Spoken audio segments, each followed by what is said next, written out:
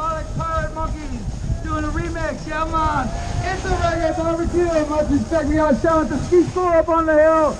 Looking good, yeah.